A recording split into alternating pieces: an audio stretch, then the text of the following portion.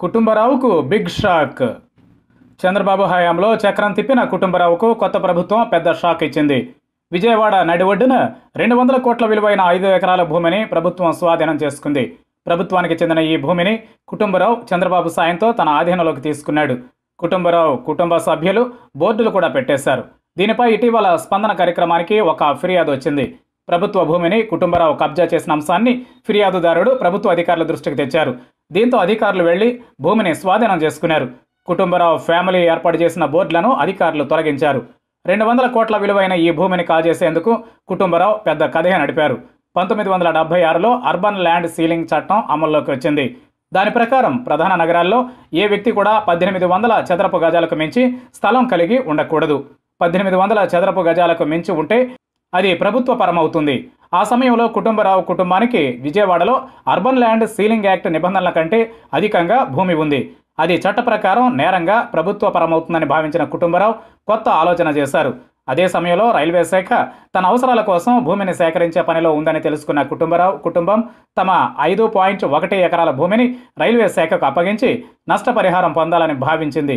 కానీ urban land ceiling act నుంచి తప్పించుకునేందుకు Kutumbarao family ఈ ఎత్తు వేసిందని తెలుసుకున్న రైల్వే శాఖ నష్టపరిహారం చెల్లించలేదు. రాష్ట్ర ప్రభుత్వం నుంచి ఎల్ఓసి తీసుకువస్తేనే నష్టపరిహారం ఇస్తామని స్పష్టం చేసింది.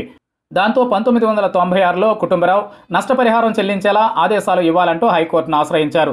అప్పట్లోనూ చంద్రబాబే ముఖ్యమంత్రిగా ఉండడంతో రాష్ట్ర ప్రభుత్వ శాఖలు మౌనం దాల్చాయి. ఐదు పాయింట్ ఒకటి ఎకరాల భూమి అర్బన్ ల్యాండ్ సీలింగ్ యాక్ట్ ప్రకారం ప్రభుత్వానికి చెందుతుందని తెలిసినా ఆ విషయాన్ని కోర్టు ముందు చెప్పేందుకు ఏపీ ప్రభుత్వం ముందుకు రాలేదు. దాంతో కుటుంబరావుకు నష్టపరిహారం చెల్లించాలని హైకోర్టు ఆదేశించింది.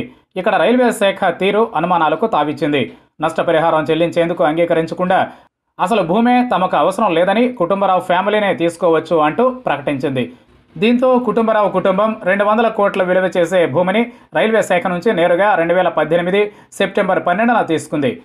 ఆ స్థలం చుట్టూ ఇప్పటికే కుటుంబరావు ఫ్యామిలీ గోడ కూడా కట్టేసింది. చంద్రబాబు ముఖ్యమంత్రిగా ఇచ్చిన మౌఖిక ఆదేశాల కారణంగానే రైల్వే అధికారులు ఇటు రాష్ట్ర రెవెన్యూ అధికారులు ఈ భూమి విషయంలో అభ్యంతరం తెలపలేదు. నిజానికి అర్బన్ ల్యాండ్ సీలింగ్ యాక్ట్ ప్రకారం ఈ భూమి ఏపీ ప్రభుత్వానికి చెందాల్సింది. కానీ దాని నుంచి తప్పించుకునేందుకు తొలుత రైల్వే శాఖకు ఇచ్చి నష్టపరిహారం తీసుకునేందుకు కుటుంబరావు కుటుంబం ప్రయత్నించింది. ఆ తర్వాత చక్రం తిప్పి రైల్వే శాఖ ద్వారానే ఈ భూమి తమకు వద్దు అని చెప్పించారు.